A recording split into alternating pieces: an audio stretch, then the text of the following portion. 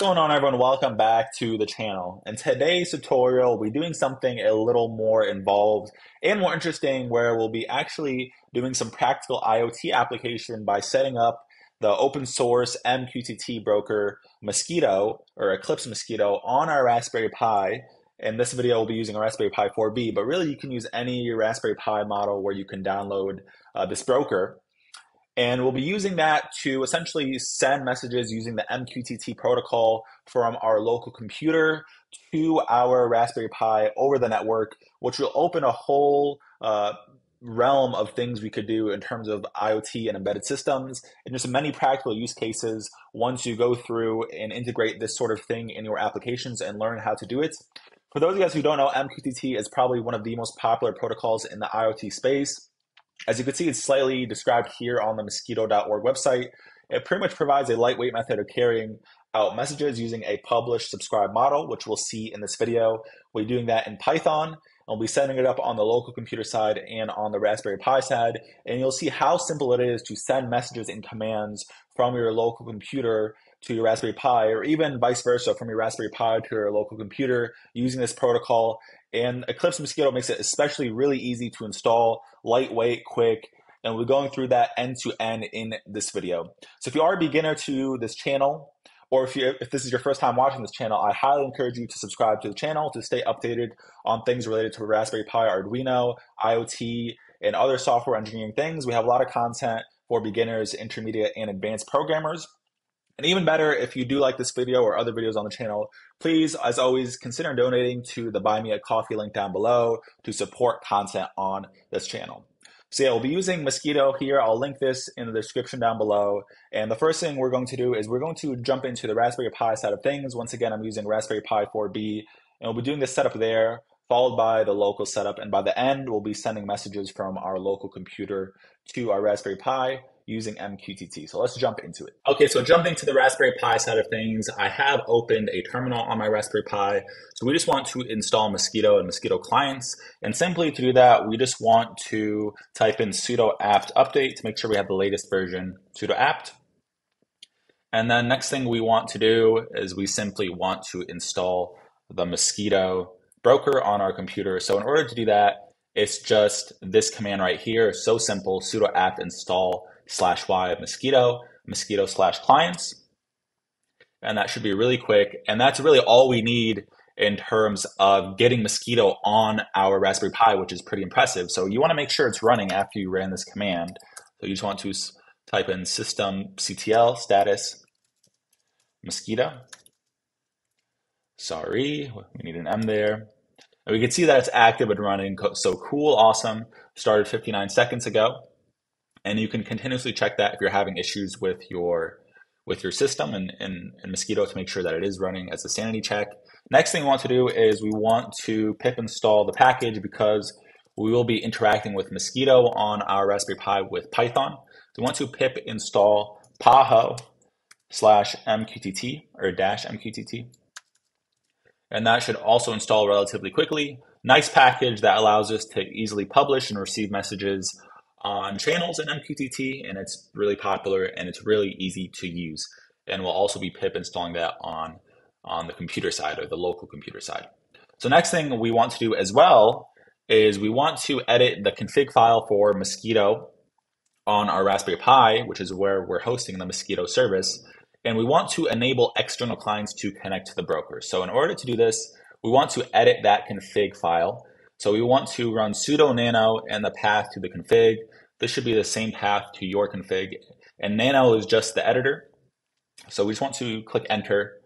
And we want to add these two lines on the bottom. So listener 1883. So 1883 is the port we'll be listening on on our Raspberry Pi.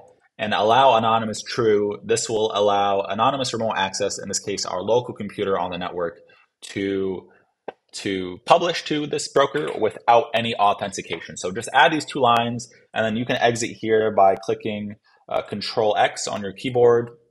And sometimes it asks, do you want to confirm? Just click yes or enter.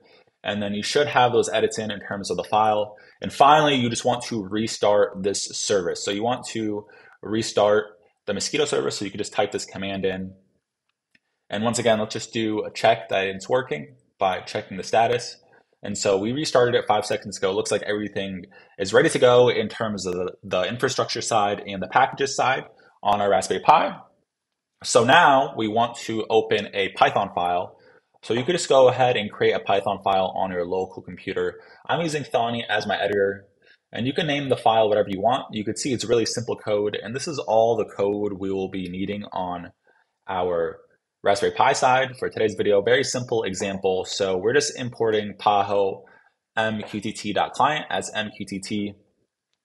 And then we're setting this on connect and on message function. So this on connect function is the function that will be called when the script connects to the MQTT broker. So it just prints a message indicating that the connection status and uh, the result code. So you could see this result code. Um, you get result codes of zero to five for a Mosquitto. So zero means you successfully connected to the broker. Anything other than that, one to, to five is is a is a bad connection or you couldn't connect. And the exact meanings of one to five, you can find those online. But if you don't get a result code of zero when you run this code, there is something wrong with your configuration. So just walk through that process or let me know in the comment section down below. And finally, what we do is we subscribe to a specific topic or channel. We call it an MQTT. So you can name this whatever you like. Just make sure it's consistent on the Raspberry Pi side and the local computer side. Uh, I just have some weird name here. You don't need these forward slashes, so don't let that confuse you. You could just name it, I don't know, Pi or whatever you like for that. And what's cool about MQTT is you could have multiple channels, so very scalable, and you can manage different messages across different channels, which makes it very powerful for distributed systems. Next thing we have is this on message. So this is the function that is called, it's a callback function when a message is received on this channel that we defined here. So this is essentially the action we're taking once someone sends a, a payload to this topic. So we can process that in a certain way. In this video, we're processing that message really simply. We're just printing it on the screen. But really, this can be extended to really interesting applications. You can control uh, pins on your Raspberry Pi with certain messages. You can tell your Raspberry Pi to take a photo based on a certain message, and you could just send all other sorts of complicated strings to tell your Pi to do things based on the code you define in this on message function. So this is where all the magic is done in terms of where you want real life IoT applications. But in our video, we're just doing something really simple. We're just going to print the message from our local computer that we're sending on that channel. So here we're just initializing the clients, the onConnect function, and the onMessage function as part of the client. And we're just connecting on localhost because it is running on our local host on our Raspberry Pi and on port 1AA3. This 60 you don't have to worry about for the sake of this video. And we're just going to print listening forever for debugging purposes and we're just going to loop forever. So we're just going to loop forever and keep listening on this channel until hopefully we get a message and we'll continue listening after that even until we stop the code. So I can just go ahead and run this now and hopefully I get a zero. Okay, cool. So connected with result code zero, as you can see here. So I am connected to my broker successfully on the Raspberry Pi side in Python. And finally, the last thing I want to do before I exit this Raspberry Pi screen is we want to get the IP address of our Raspberry Pi on our local network because we'll be using that on the local computer side on my Mac code when I run Python code on my Mac to access the broker. So in order to do that, we just want to go back to the terminal here. So this is the, the last step on the Raspberry Pi side. And we just want to run the command ifconfig. And we just want to copy this iNet IP address and just save it somewhere. And we'll be using that on our local computer side of things in the Python code. And we'll just be substituting that back in. So once you're up to this point, hopefully you got everything running. We're going to jump into the local computer code, which is very, very simple.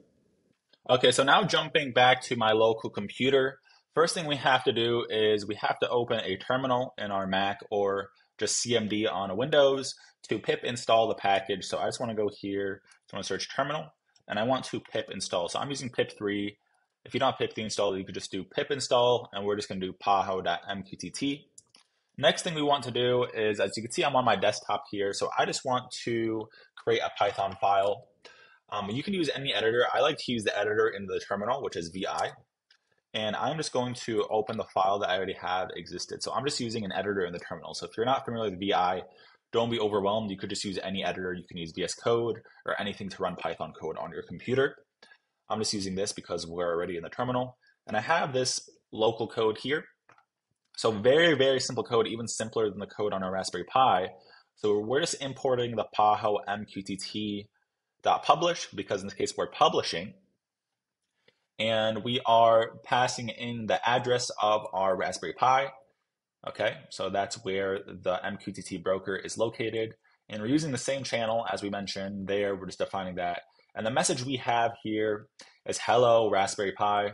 But really you can define the message however you like, as you mentioned, for your application's needs, or it could be other things to trigger other, other actions on your Raspberry Pi.